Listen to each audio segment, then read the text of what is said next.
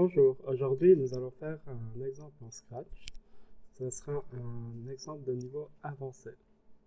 En effet, on va faire un petit jeu de plateforme qui aura une physique plus ou moins réaliste.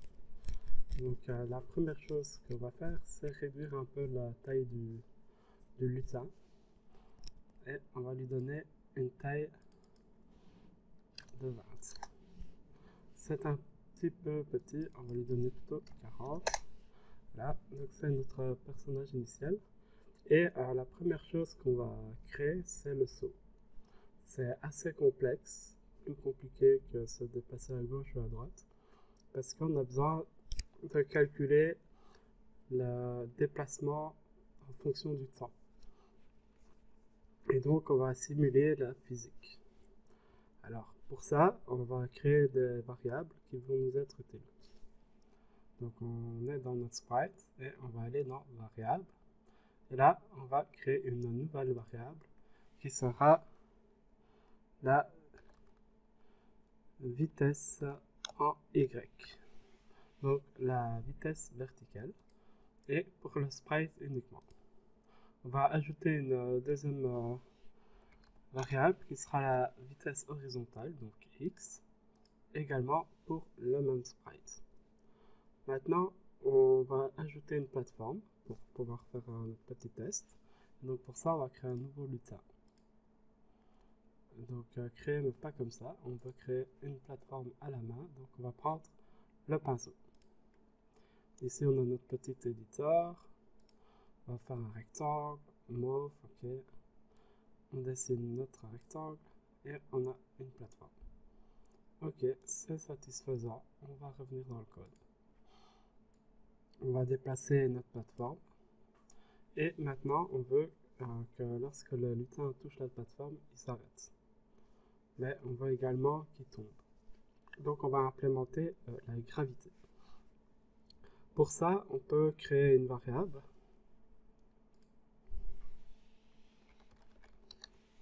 On va appeler gravité. Et ce sera pour toutes les sprites. Donc maintenant ici on a euh, notre variable qui est là pour euh, toutes les sprites. Alors pas sûr que ce soit euh,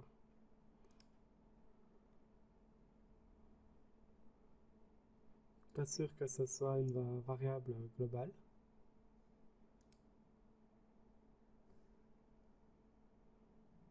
On verra bien. Ok, donc euh, la première chose à faire, c'est euh, avoir le médecin qui tombe. Alors pour ça, on va faire une boucle infinie. Donc on met le début et on met un répéter indéfiniment, donc tout le temps en gros. Et euh, ben, ce qui va se passer, c'est qu'on va faire descendre petit à petit le lutin. Donc pour ça, on va aller dans mouvement et on va euh, glisser.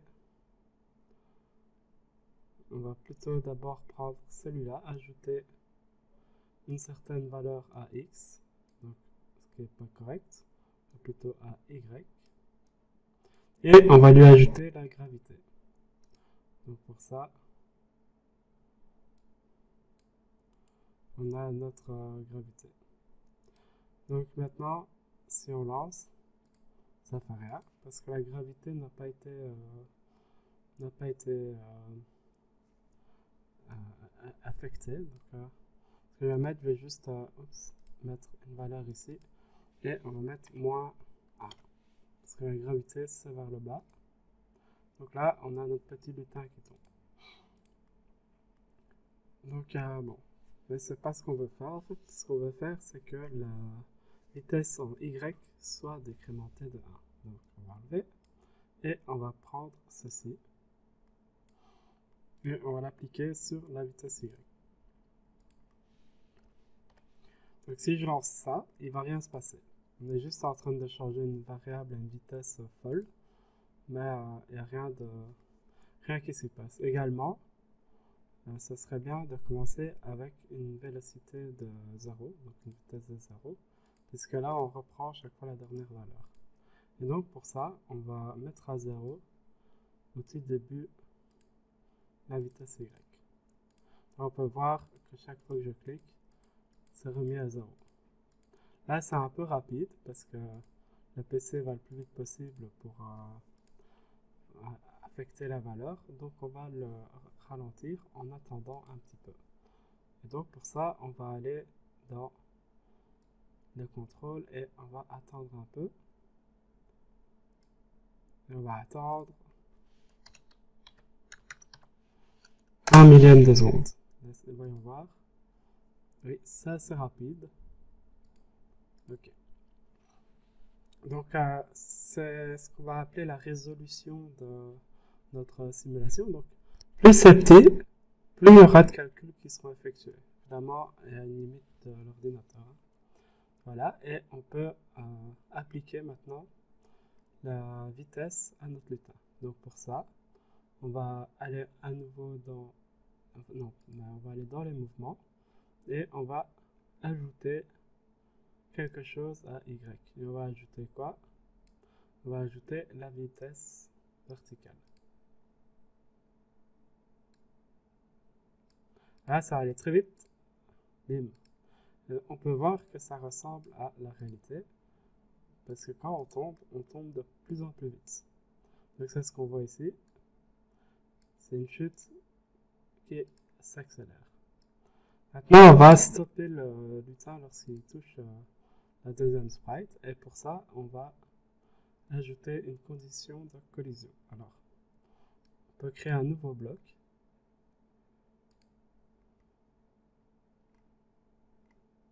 Ou on peut euh, simuler euh, directement ici.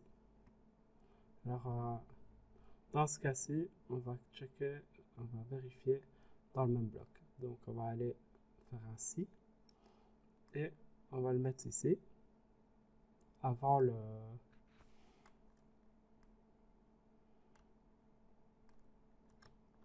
c'est toujours assez compliqué de ne pas de ne pas le mettre en plein milieu.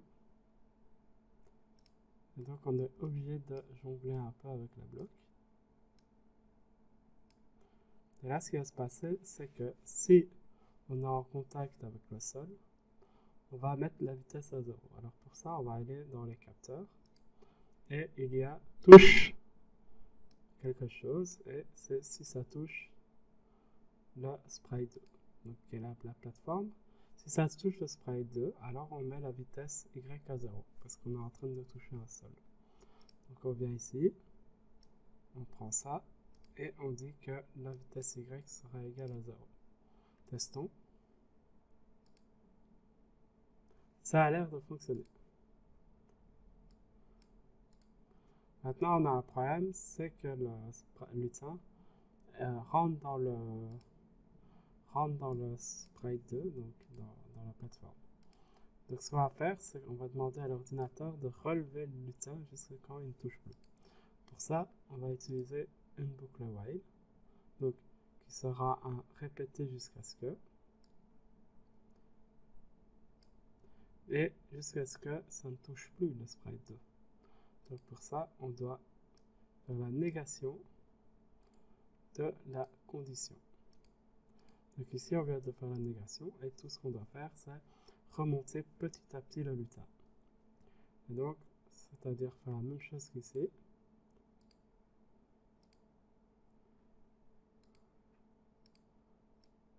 Sans attendre, évidemment. Et sans avoir la vitesse là. Et on ajoute A. Donc, c'est-à-dire qu'on remonte petit à petit. Donc tant, que ça, tant que ça ne touche pas, enfin jusqu'à ce que ça ne touche pas le sprite 2, on remonte euh, le lutin. Là on peut voir le lutin qui est remonté. Et donc si on le met comme, il était, voilà. Alors, une autre chose, c'est qu'ici, on n'est pas en mode turbo. Donc Scratch euh, ajoute un petit temps mort entre chaque euh, opération. Donc pour enlever le temps mort, on va activer le mode turbo. Et là, on peut voir que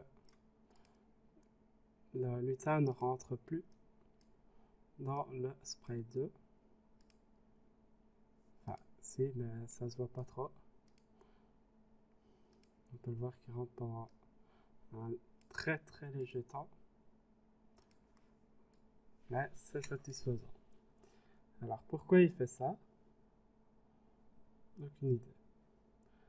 Alors une autre possibilité, c'est euh, de ne pas faire ça, mais de mémoriser la position précédente.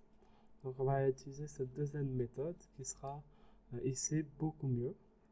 Donc on va créer une nouvelle variable et ce sera y précédent.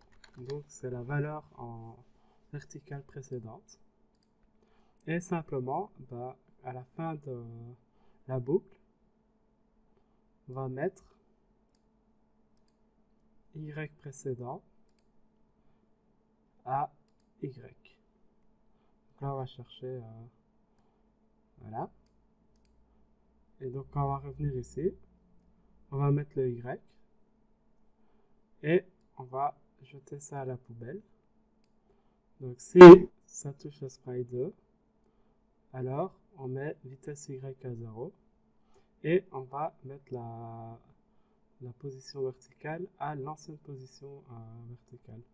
Donc on prend mètre y à la variable qui est euh, y précédent. Et donc ça, ça va simplement euh, déplacer le lutin à sa position avant qu'il touche le sprite 2.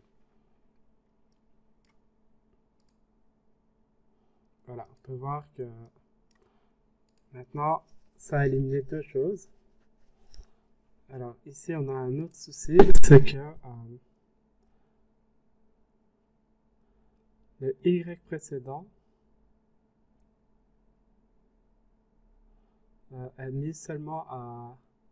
Donc, euh, quand on touche le... Donc, on se déplace. Et puis, on touche le sprite. Et puis après, on met le précédent. Donc ce qu'on va faire ici, c'est un peu à réordonner la boucle. Et en fait, ajouter, tester, mettre le précédent et puis euh, le mettre. Donc ici, ce qui va se passer, c'est que on va se déplacer. S'il y a une collision, on met la vitesse à 0. On réinitialise la position à celle précédente. Et puis on continue. Donc l'ordre est important, puisque ici on défait seulement, euh, on, défait après avoir euh, bougé. Avant, on essaie de défaire et puis on bougeait. Donc ça marchait beaucoup moins bien. Testons. Et là, on peut voir qu'en effet, il y a un mieux. Mais nous avons un autre problème. C'est que ici, on rebondit juste avant la plateforme.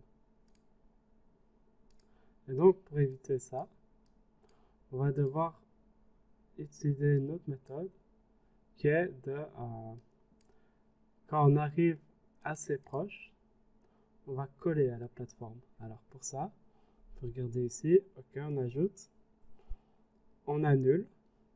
en fait, ici, c'est euh, c'est pas tout à fait correct. Donc on met au précédent et puis on va descendre jusqu'à quand on touche spray 2. Alors, on va aller ajouter le while qu'on a retiré. donc, c'est-à-dire euh, le répéter jusqu'à ce que. Et on va répéter ça jusqu'à ce que euh, on touche le spray 2. Et on va ajouter un Y.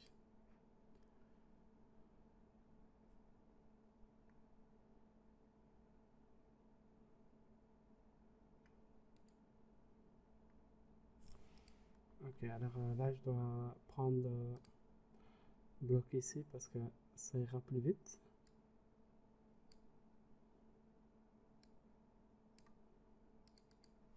Et c'est vers le bas. Donc on ajoute moins 1. Donc là maintenant, on va, on va descendre, l'arrêter quelque part en l'air. Enfin, donc toucher, le remonter et puis descendre petit à petit.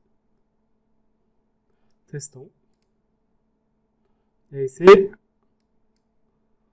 on n'a plus le rebond. Donc c'est beaucoup mieux. Ça, c'était la première partie. Maintenant, on peut euh, implémenter le saut en lui-même. Alors pour ça, on va devoir détecter donc euh, quand on appuie une touche du clavier, par exemple euh, O et ou Z, et donner une impulsion. Cette impulsion, on va la donner au début de non après la boucle et juste avant de de changer ses valeurs. Donc pour ça, on va prendre si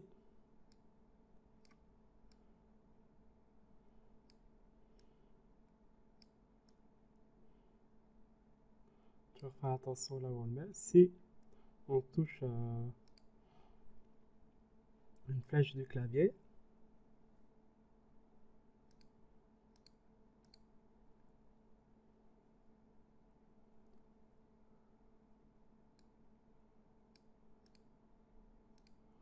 Donc si la flèche du haut est pressée, on va mettre euh, la vitesse, la vélocité y à un grand nombre. Ce qui fait qu'il y aura une force qui va être appliquée et il va vouloir monter. Donc pour ça, on va aller dans les variables et on va mettre, euh, mettre vitesse y à, on va tester 10. Alors voyons voir. Là, on a un premier saut. Et si je reste appuyé, euh, on voit qu'il va grimper. Ce qui n'est pas vraiment ce qu'on veut. On peut aussi adapter le saut. On va mettre peut-être 15 pour qu'il aille un peu plus haut. C'est peut-être trop haut. Donc 10 euh, c'était bien. Voilà. Donc là on a notre, euh, notre saut.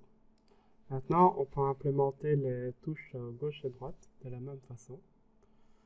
Et euh, évidemment, mettre la vélocité x à 0. Donc, on va aller mettre la vitesse x à 0. Et si on touche la flèche droite,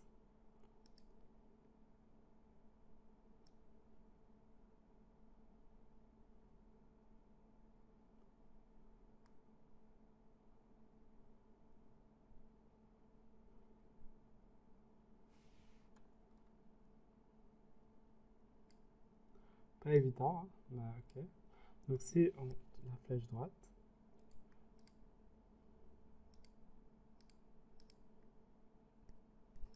alors on veut ajouter 1 à la vitesse y.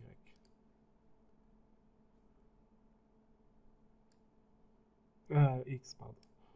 Donc euh, vitesse x, on ajoute 1.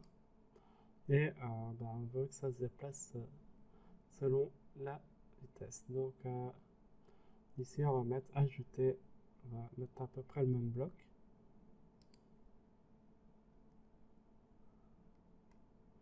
Là on cherche ajouter. C'est des capteurs, je veux pas des capteurs, je veux des mouvements. Et on va ajouter quelque chose à x. Et ce quelque chose, bah, c'est la vitesse x. maintenant, si je joue le, avec cheveux droite, hop, on voit l'ajout qui se fait. Évidemment, si euh, on reste appuyé, il y aura une grosse accélération. Et on veut pas ça. Donc, ce qu'on va faire, c'est qu'on va déjà mettre un espèce de freinage pour que si on arrête d'appuyer, ça se ralentit et une limite. Donc, on va commencer par euh, la limite qui sera de if l'un suite de l'autre. Donc 2 si. Donc si on va mettre ça juste en dessous de d'ici. Donc si euh, la vitesse grande, on va la, on va la diminuer. Alors, enfin, on va, on va la limiter en fait au, au maximum. Donc si euh, c'est plus grand que j'ai aucune idée, donc on va mettre 10 pour commencer. Donc si la vitesse euh, x est plus grande que 10, alors on va la mettre à 10.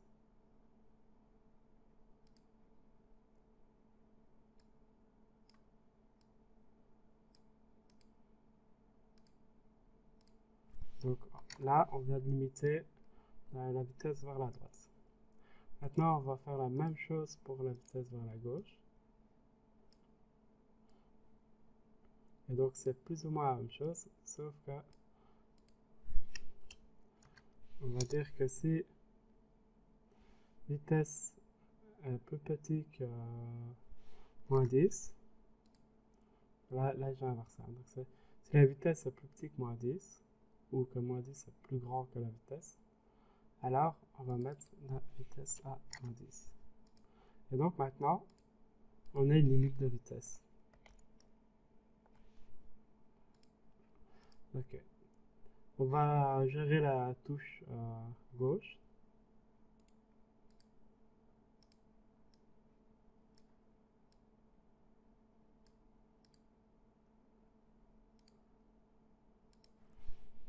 Et c'est l'inverse, on enlève on va peut-être euh, prendre le petit lutin et le remettre en place.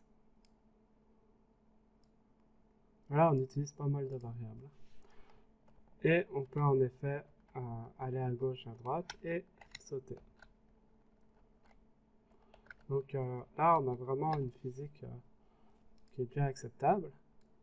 Et il nous reste le ralentissement. Alors pour le ralentissement, on va simplement enlever 1 à la vitesse si elle est plus grande que 0 et ajouter 1 si elle est plus petite que 0.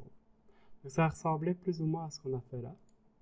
Donc je vais dupliquer les blocs et les mettre juste en dessous. Et euh, on va supprimer les, doublons qui viennent d'être créés. C'est-à-dire que je peux prendre ces deux blocs-là et les mettre à la poubelle.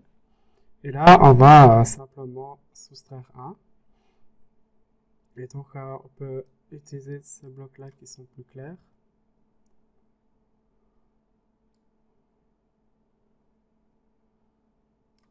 Et supprimer ces blocs-là qui sont moins clairs. Donc là, on va mettre x et x. Si la vitesse est plus grande que 10, non? Si elle est plus grande que 0, alors on ajoute moins 1, c'est-à-dire on ralentit. Donc si, on est à droite, si on va vers la droite, on ralentit en essayant d'aller vers la gauche en quelque sorte. Si c'est euh, la vitesse est plus petite que 0, alors on va ajouter 1. Et donc, ces deux codes-là vont faire que la vitesse x va tout le temps essayer d'aller vers 0. Alors, on va lancer. Je bouge un peu. Et là, ça marche plus.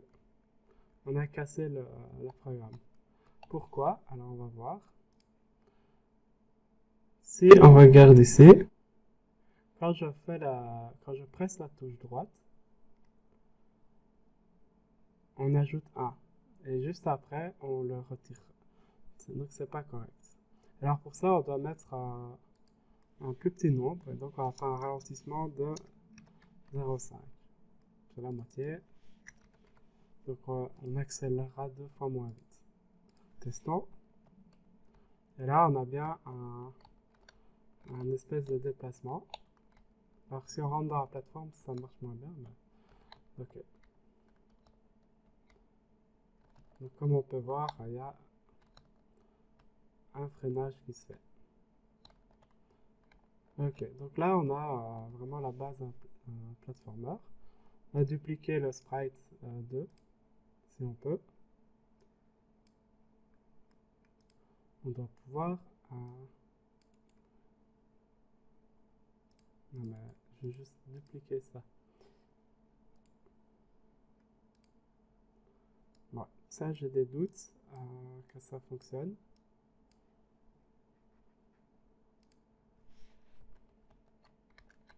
Voilà, doute confirmé.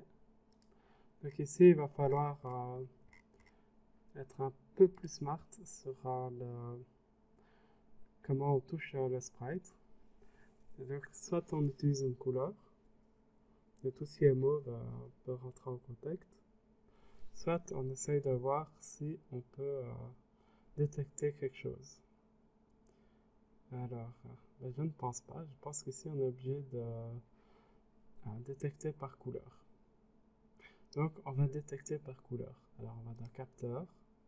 Si couleur touchée, on va ici, on remplace tout le truc euh, et on met à la poubelle et on va cliquer sur la couleur.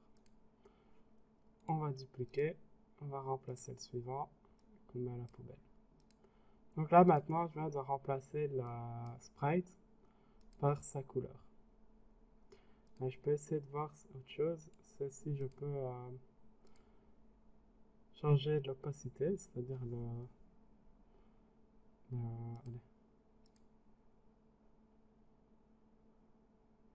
et on dirait que non. Ça, c'est dommage.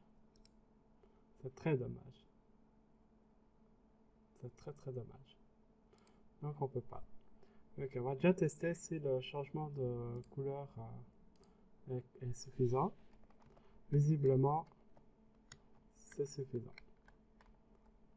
Donc là, on a notre petite, euh, notre petite plateforme. Là, on peut voir que là, il ça fonctionne plus ou moins. C'est juste que si on rentre par le côté, il y a un bug. Et on peut plus... Ah, c'est un peu sauter. Voilà, plus. Donc là, c'est un petit bug. Mais qui est difficile à régler. L'autre bug, c'est que si on reste appuyé, eh ben, il monte indéfiniment. Donc du coup, on va devoir protéger ça pour euh, ne pouvoir sauter que si on est sur une plateforme. Alors, bah, pareil, on va rajouter une variable qui va nous dire si on peut sauter ou pas. Pour ça, on va arriver ici et on va ajouter une variable peut sauter. Ou plutôt sur le sol. Donc là, on a notre variable avec un point d'interrogation, parce que c'est un peu une question. Et on va voir si on sait le, en faire quelque chose. Alors oui, hein, évidemment. Donc on va commencer par initialiser la variable à 0. 0 voudra dire pas sur le sol et 1 voudra dire sur le sol. Donc mettre sur le sol à 0. Ensuite, ici, on a euh, la détection si on a touché. Voilà, on va dire si on a touché, alors on va dire que c'est sur le sol.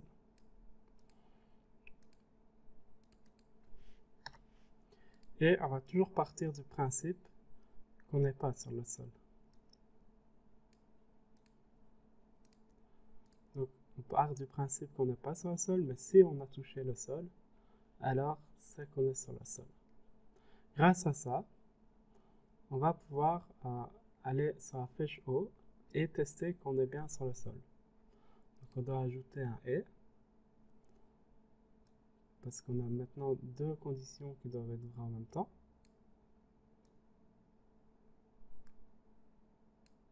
Et la deuxième condition, c'est... Oui, évidemment, j'ai pas pris le bon bloc. Donc, on doit faire ça pour la flèche du haut. Donc flèche du haut, mais il faut d'abord être sur le sol. Donc là, on va comparer deux variables, enfin deux valeurs. Et c'est surtout ici qu'on va devoir mettre la variable sur le sol égale 1. Donc on prend sur le sol.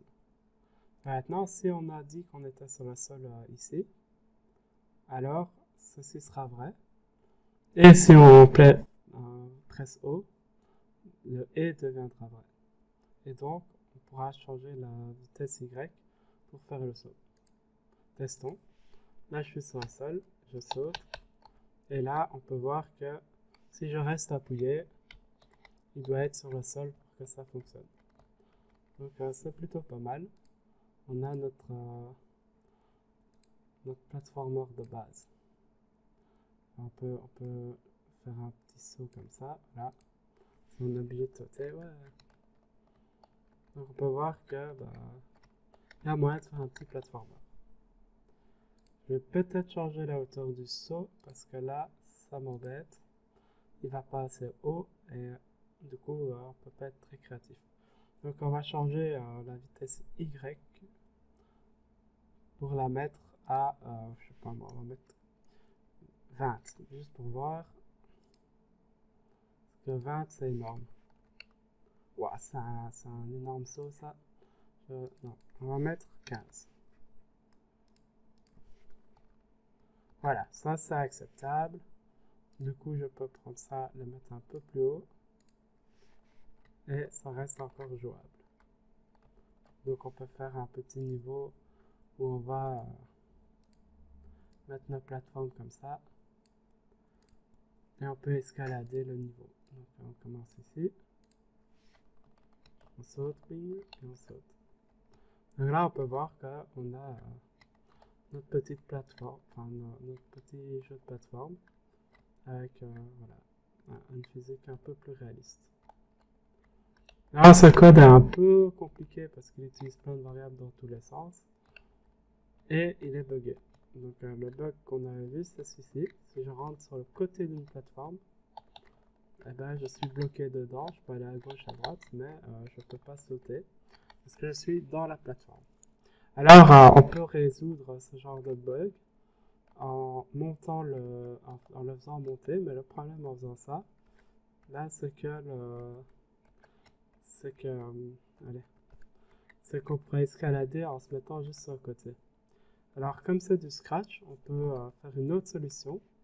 C'est en ajoutant des couleurs pour les bords gauche et droite. Donc euh, pour ça, je vais prendre, euh, je vais supprimer ces deux, deux sprites. On va revenir à l'initial. On va changer le costume et on va ajouter deux bords. On va pas mettre de contour.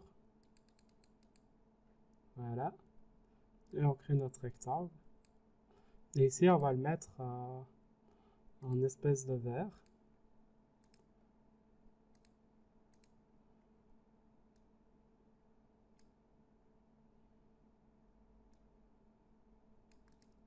Et on va ajouter un deuxième bloc qu'on va mettre en, rouge.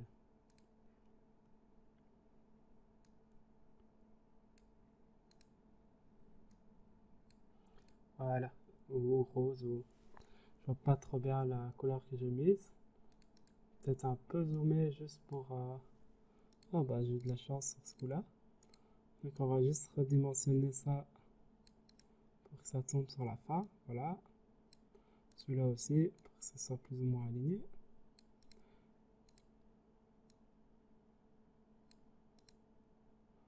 Voilà. Donc maintenant on a notre plateforme avec ses bords gauche et droite on va pouvoir utiliser. Alors, euh, si je lance le jeu, voilà, lorsque je vais aller au-dessus du rectangle euh, rouge, ben, il n'y aura pas, voilà, il n'y a, plus de collision à ce niveau-là. Et donc, euh, ben, ça fonctionne plus. Par contre, pour le reste, il y a toujours la collision. Hein, parce qu'on utilise la couleur, donc, ok. Et donc ça, ça va permettre de détecter si on touche euh, la couleur euh, verte, je dois pousser vers la gauche. Si on touche la couleur rouge, je dois pousser vers la droite. Donc on va, on va faire ça, on va ajouter le petit code qui va bien. Donc c'est-à-dire on met ainsi. Ah, c'est toujours euh, assez délicat, mais voilà, on va mettre déjà les deux ci et on remet tout le bloc. Pouf. Donc si euh, on va dupliquer ça parce que ça ne doit pas aller chercher partout. Donc la première c'est si on touche par exemple le vert. Le deuxième ce sera si on touche le rouge, enfin c'est pas du rouge mais cette couleur là. Alors si on touche le vert, ben on veut euh, mettre x, la vélocité x à 0 et euh, sortir du vert. Donc, ok, on va faire ça. Donc, on va dans les variables et on va mettre, mettre quoi? Vitesse x à 0. Pareil pour, euh, ici. Dans les deux cas, on veut mettre euh, la vitesse x à 0. Et puis, tant que la couleur est touchée, on veut euh, pousser en dehors. Donc, pour ça, on va reprendre un répéter jusqu'à ce que que je vais mettre euh, déjà dans les deux. Voilà, répéter jusqu'à ce que quoi la couleur ne soit plus touchée. Alors, euh, ce qu'on peut faire, c'est euh, plutôt euh, pas faire ça, parce qu'on a vu que ça ne fonctionnait pas trop bien, mais plutôt prendre la vitesse x la position x précédente. Donc, on va aller dans les variables, créer une nouvelle, une nouvelle variable et faire comme on a mis ici, donc c'est-à-dire mettre yx précédent à abscisse x. Ok, donc là on a notre euh, chose. Et donc quand on va toucher, donc on va se déplacer, j'ai perdu, euh, voilà, on va se déplacer. Donc là, si on met y précédent, et si la couleur là est touchée,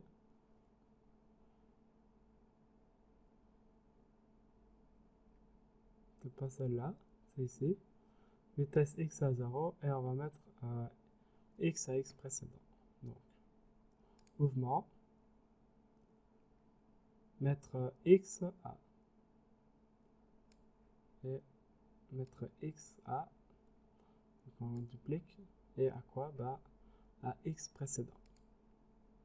Donc euh, voilà, on va mettre ça ici, et là. Donc là, on, stoppe la vitesse horizontale, on la met à 0, et on annule le mouvement qui a été fait. On va déjà tester qu'on n'a pas fait de bêtises. Et là, on peut voir que quand on atteint le bout de notre plateforme, on est bloqué. Alors, on pourrait se dire, bon, ok, c'est une aide euh, euh, pour pas tomber de la plateforme. C'est pas top top, mais voilà. Ok, on va ajouter une plateforme pour tester le deuxième comportement. C'est-à-dire, on va la mettre par exemple ici. Et maintenant, on va essayer de sauter dans le bord de la plateforme. Là, on peut voir que ça devient pas possible. Donc, on vient d'inventer euh, le concept de mur. C'est fantastique. Voilà. Euh, donc, si je veux mettre un grand mur, je peux. je vais dupliquer pour montrer. Donc, si j'en mets une deuxième là, une troisième là. Maintenant, euh, si j'essaie de sauter contre ce bord vert, ben simplement ça va s'arrêter et glisser. On peut voir que ça glisse vers le bas. Pareil si je saute euh, dans l'autre sens, je peux pas le... Voilà, ça, c'est automatiquement bloqué. Évidemment, ça fonctionne de la même façon euh, sur les mets de l'autre côté. Hein. On va avoir un glissement qui se fera de l'autre côté. Voilà. Si, là j'essaye de sauter, on peut voir que il y a un glissement qui s'opère. Et donc là maintenant on a toute une solution pour euh, la plateforme. Après, après euh, on est obligé d'utiliser les couleurs, ce qui est pas hyper sexy, mais euh, ça a le mérite de fonctionner. Après, on a notre petit bug ici qu'on peut corriger en fait avec une petite astuce. C'est qu'on va retourner, on va supprimer ceux-là qui ne servent pas. Et on va euh, changer un peu le costume. Et on va simplement changer les dimensions ici. Pour qu'il y ait un peu de, de mauve qui dépasse. Donc si je fais ceci, on n'aura plus le problème de... Voilà, on n'aura plus le problème euh, de ne pas pouvoir... Euh, voilà. Maintenant, ça va glisser comme ça glissait avant. Donc on est sur les côtés. Mais on va pouvoir marcher sur toute la plateforme. Testons déjà ça. Est-ce qu'on peut marcher sur toute la plateforme? Oui. Et on va dupliquer la plateforme pour faire l'autre test. Le test du glissement sur le côté. petite plateforme. Est-ce que ça glisse sur le côté? Oui. Oui, ça le fait. Alors, ouais, voilà. Ah, là, là j'ai réussi à le bloquer. Ça, c'est pas top top. Donc ce qu'on va faire, euh, c'est qu'on va encore modifier un petit peu la plateforme. Cette fois-ci, on va faire dépasser le, le détecteur à gauche, euh, enfin à droite et à gauche dans ce cas-ci. Voilà. On va tester ça comme ça. Mais évidemment, on peut toujours marcher dessus.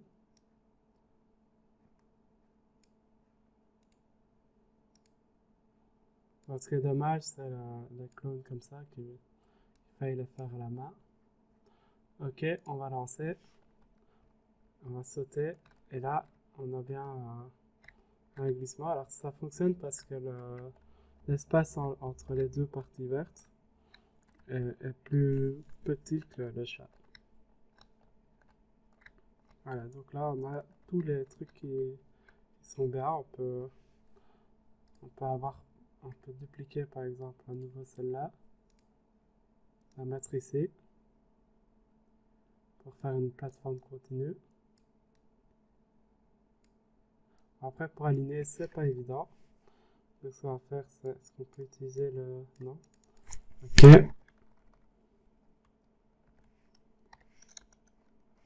Donc on va changer un peu les nombres ici. Ok encore un. Voilà, comme ça les deux plateformes sont alignées. Et normalement, on peut euh, marcher par-dessus le, le, gap sans être freiné. Voilà. Et donc ça veut aussi dire que euh, si vous faites un background qui va bien, ça fonctionnera aussi. Donc je peux euh, supprimer ça par exemple.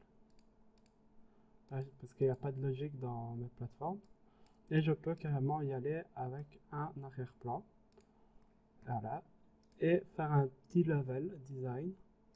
Évidemment, je vais devoir adapter mes couleurs parce que je n'ai pas mémorisé, mais ok. Donc, je fais mon petit level design avec. j'ai ma plateforme principale euh, qui est le. Voilà. Puis, je veux mettre une petite plateforme ici. Voilà. Après, euh, je veux mettre un mur. Donc, on va mettre un mur comme ça. Évidemment, ce mur, on va le mettre en partie euh, rouge. J'ai oublié les directions, donc euh, ça va être sympa. Et on va mettre une partie euh, verte. Probablement inverser les deux. Mais c'est pas grave parce que si j'inverse partout, ça restera correct.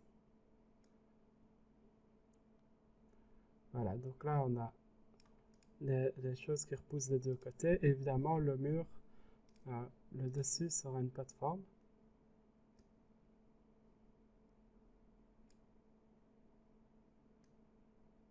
Donc on peut mettre la plateforme comme ça.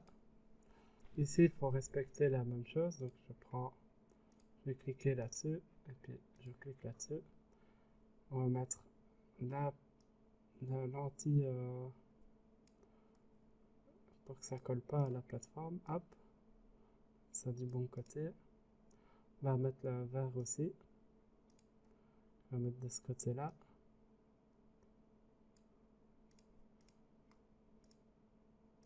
On peut zoomer pour euh, grande précision. Là, je suis en train de dessiner plein de rectangles, ce qui n'est pas bien. Voilà.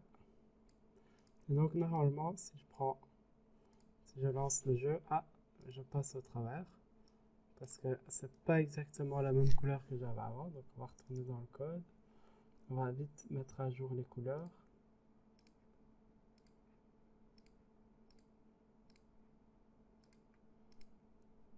Alors mettre x à x précédent. En fait euh, j'ai pas besoin de deux euh, conditions donc ça tombe bien. On peut les on peut je peux en dropper une. J'avais pas vu ça. Donc, euh, du coup, on a besoin que du vert, par exemple. Très très bon, ça. Donc, on va retourner arrière-plan. Et donc ici, euh, on a besoin que du vert. Donc, je vais supprimer les, Voilà, donc je peux faire ça en fait.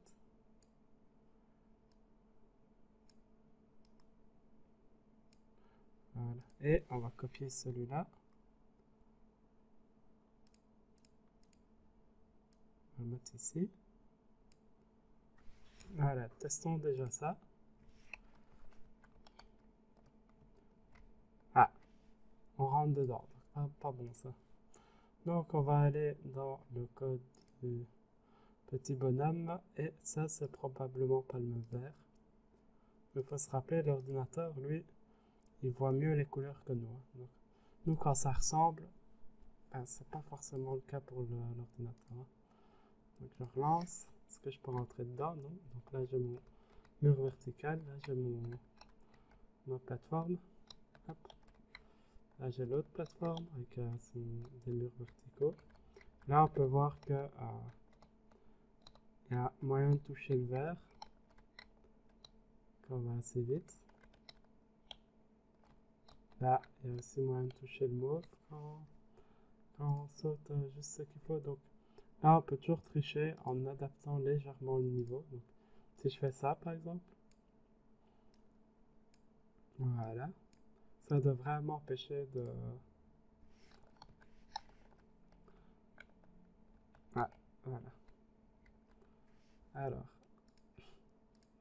petit bug, parce qu'il a... J'avais une sélection ici, donc l'éditeur la prenait en compte. Là, j'étais mal positionné. Voilà.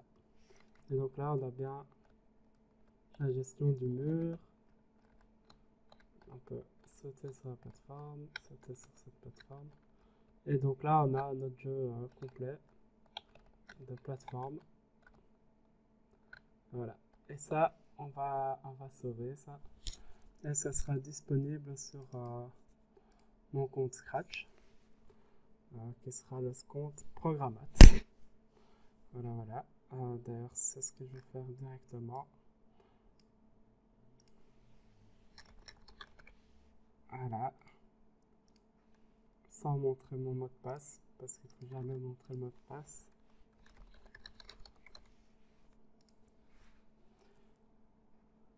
Et voilà, donc euh, là maintenant je peux euh,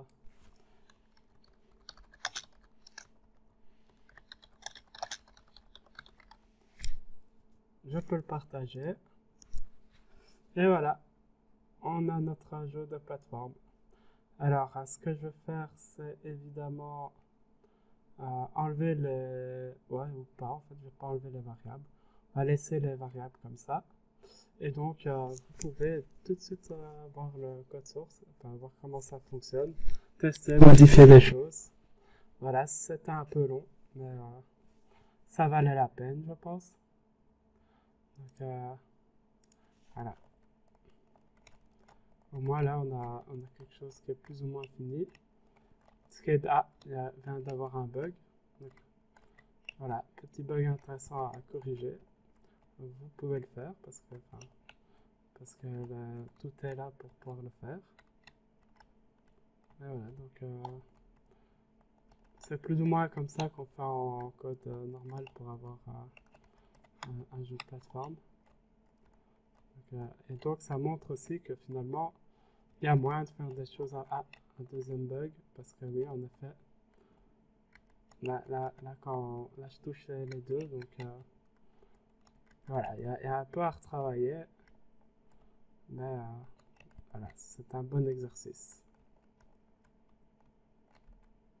Ah oui, là, là, là, on a aussi que la moustache touche le verre. Et donc, du coup, on peut plus se déplacer. Voilà.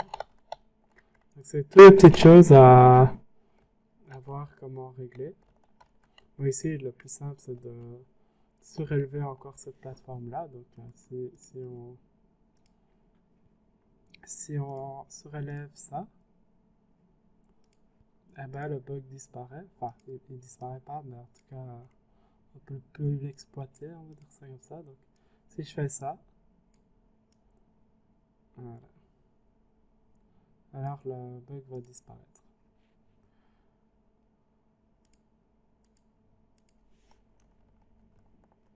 Parce que c'est plus... Euh, Voilà, donc là, hop. Sauf si on va lentement, hop, pour tomber pile poil dans le verre. Là, ça devient un peu compliqué, mais c'est possible. Donc là, ça c'est du debugging. Hein. On, teste euh, des choses vraiment bizarres. Voilà, là j'ai réussi. Et donc normalement, je suis coincé horizontalement. Voilà. Et donc là, on pourrait réutiliser à nouveau deux couleurs pour décider de pousser le joueur en dehors de, des choses de couleur. Voilà, voilà. J'espère que c'était instructif et que ça a pu montrer un peu euh, ce qu'on peut faire avec Scratch. Et il faut noter que ça a mis à peu près une heure pour arriver à ce résultat. Donc il ne faut pas penser que tout va rapidement. Euh, les choses mettent du temps et c'est normal. Voilà, bon amusement.